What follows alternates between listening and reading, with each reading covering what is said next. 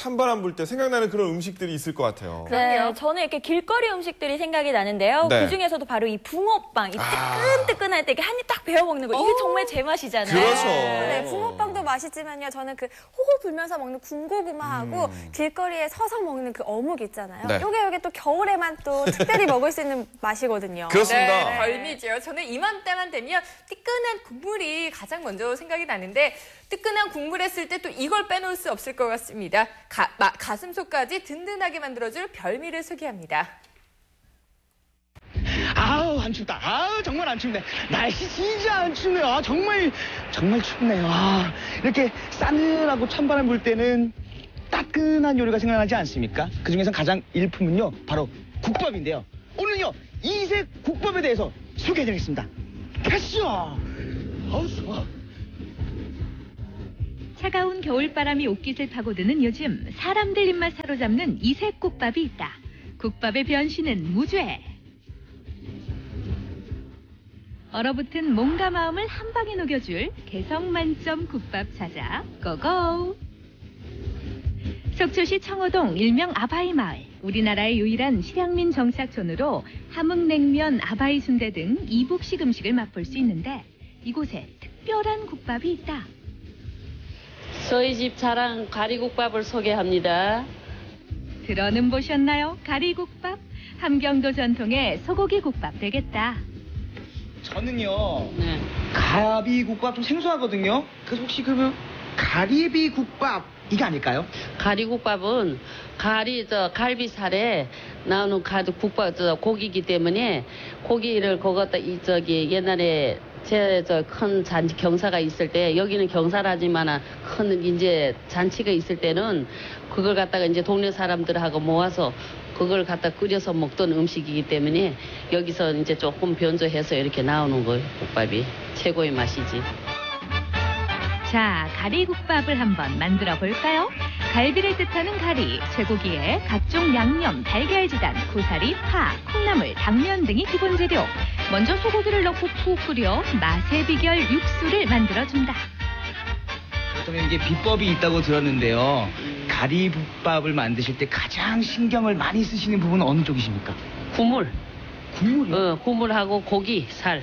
양지고기가 이제 맛이 얼마나 있는지 그걸 이제 항상 삶아서 시간 타임을 맞춰가지고 그걸 삶아내야 되고 이제 질기지 않게 삶아내서 이제 썰어가지고서 이제 매워서 손님들 입에 부드럽게 나가는 것이 이제 우리 내가 할 포인트지. 잘 익은 소고기를 먹기 좋게 잘라주고 뚝배기에 콩나물, 고사리, 잘게 자른 소고기 등을? 아낌없이 파 푸짐하게 넣어준다.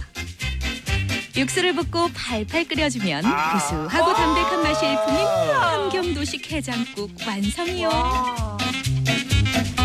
나 서유기 리포터가 가장 기다린 시간. 하지만 보는 이들은 정말 괴로운 시간. 군침 절로 넘어가는데 맛이 어때요? 네? 국물을 먹으면서 국물이 싹 내려가면서 오정육분을 감싸는 우리 어머니가 이불을 덮어주는 큰 치밀함을 느낄 수가 있고요. 고기가 있으니까 든든해지면서 긴 말이 필요 없다. 오늘도 맛보느라 행복한 서유기 리포터. 어, 안에 아유, 부럽다. 부러워. 국밥 좋아하시는 분들이 다 좋아하는 재료예요. 아바이 마을에서만 맛볼 수 있는 가리국밥. 모두 그 매력에 푹 빠졌는데 실향민들에게는 반가운 고향의 음식. 먹는 손길이 멈출 줄 모른다. 콩나물에 고기, 속이 확 고사리. 풀리고 먹으면 네. 얼큰하고 네. 아주 따뜻하기도 하고 아 옛날에 맛보는 어, 할머니의 이 맛같이 서울에서 지금 오늘 차 타고 내려왔는데 네. 그 피로가 싹 풀리는 오. 정말 뭘 가치가 있다고 생각되는 그런 맛이요. 이색 국밥 열전 둘. 일찌감치 소문 듣고 찾아온 손님들로 문전성시를 이루는 가게 안. 그 맛의 정체가 궁금하다 궁금해. 시원하고 쫄깃쫄깃하고 겨울에 딱인 것 같아요. 아 국물이 정말 아유, 끝내주네 정말 이렇게 칭찬 자자한 국밥. 머리 하시다가. 과연 그 정체는 이게 뭐예요? 어? 문어 국밥? 한우와 문어가 만났다. 겨울철 보양식 문어 국밥. 네, 안녕하세요. 아니 제가 추운 겨울날 이렇게 밖을 돌아다니는데 문어 국밥 칭찬이 자자하더라고요. 네, 감사합니다. 아니 근데 문어 국밥 어떻게 해서 이렇게 만들게 되셨습니까? 내 어, 소고기 국밥을 좀 차별하기 위해서 여기 속초에는 참문화가 굉장히 유명합니다. 네. 그래서 아, 궁합이 잘 맞다 그래서 같이 하게 됐습니다. 자, 메모할 준비 되셨나요? 문어국밥 만드는 방법 대공개. 질 좋은 소고기에 동해안에서 잡은 살아있는 문어. 그 싱싱함이 느껴지시죠? 가진 양념에 파, 골뱅이, 콩나물 등만 있으면 재료 준비 끝. 끓는 물에 소고기를 넣고 팔팔 끓여 육수를 만들고 문어를 준비한다. 문어가 엄청 비싸잖아요. 네. 이게 남는 장사가 안 될 것 같은데요? 이렇게 모두 즐기고 좋다고 오셔서 모두 맛있다고 드시니까 그래서 돈을 남는 것보다가 떠나서 오시는 손님들 고맙잖아요.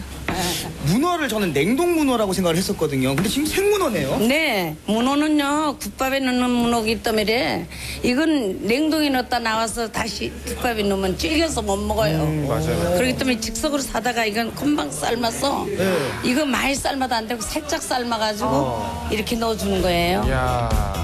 문어는 끓는 물에 살짝만 데쳐 먹기 좋게 잘라주고 뚝배기에 준비된 재료들을 하나씩 넣어준다. 소고기는 당연히 믿을 수 있는 한우. 한우와 문어의 궁합이 정말 제대로 맞습니까? 네, 동의보감에도 우리 조상들이 소고기 먹고 체했을 때 문어를 삶아 먹으면 속이 뻥 뚫린다고 그 전해왔대요. 그래서 아, 이거구나. 이게 끝이 아니다. 가진 양념 넣어 이건 푹 뭐야? 끓인 한우국밥에 문어를 푸짐하게 얹어주고 어이구. 한 번 더 보글보글 끓여주면 웰빙 시대 웰빙 음식 문어국밥 완성. 문어국밥의 매력에 푹 빠진 사람들 한 번 맛보면 멈출 수 없다. 너도 한 입, 나도 한 입 먹다 보면 눈 깜짝할 사이에. 한 그릇 있다. 아이고 우리 어머니 땀까지 흘리시면서 맛있게 드시는데 네, 문어 맛있어요. 국밥 맛 어떻습니까? 아이고 시원하고 맛있어요. 말할 거 없어요. 말하면 짠소리. 우리 때는 가난했잖아요. 그러니까 그 마음대로 많이 못 먹었지. 근데 지금은 이거 많이 먹지. 맛있고. 그냥 지나칠 서유기 리포터가 아니다. 한 자리 차지하고 앉아. 먹고 먹고 또 먹고. 아니 먹지만 말고 무슨 말이라도 좀 해봐요. 네? 아 일단 국물이 너무 개운하고요. 네. 문어의 부드러움, 네. 고기의 쫄깃함. 야, 이 딱 삼박자가 맞네요, 그냥. 네. 야, 문어 국밥. 코끝을 시리는 매서운 바람에 따끈한 국물이 그리워지는 요즘. 이제는 국밥도 개성시대. 고향의 맛을 간직한 가리국밥과 맛은 물론 건강까지 생각한 문어국밥. 이 겨울 여러분의 선택은 자유. 이색 국밥으로 추운 겨울을 이겨보는 건 어떨까요?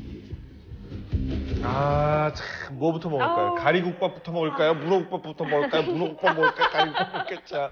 야, 진짜 맛있을 것 같은데. 네. 저는 특히 처음에 나왔던 가리국밥 어떤 맛일지 굉장히 궁금해요, 진짜. 그러니까요. 네, 맞아요. 이 이북식 국밥. 아, 저는 이 맛이 상상이 안 가는데요. 한번 속초에 놀러 가면은 꼭 빠뜨리지 않고 먹어봐야 될 것 아, 같아요. 그러니까요. 네. 네, 저는 무엇보다 한우를 참 좋아하는데요. 삶은 문어도 또 먹고 싶거든요. 네. 그런데 이 두 가지가 만났다고 하니까 어. 저에게 딱 맞는 그런 맛있는 국밥이 아닐까 싶습니다. 그렇습니다. 뜨끈 한 국밥 한 그릇으로 오늘도 또 속 든든하게 잘 채워보시길 바랍니다. 네.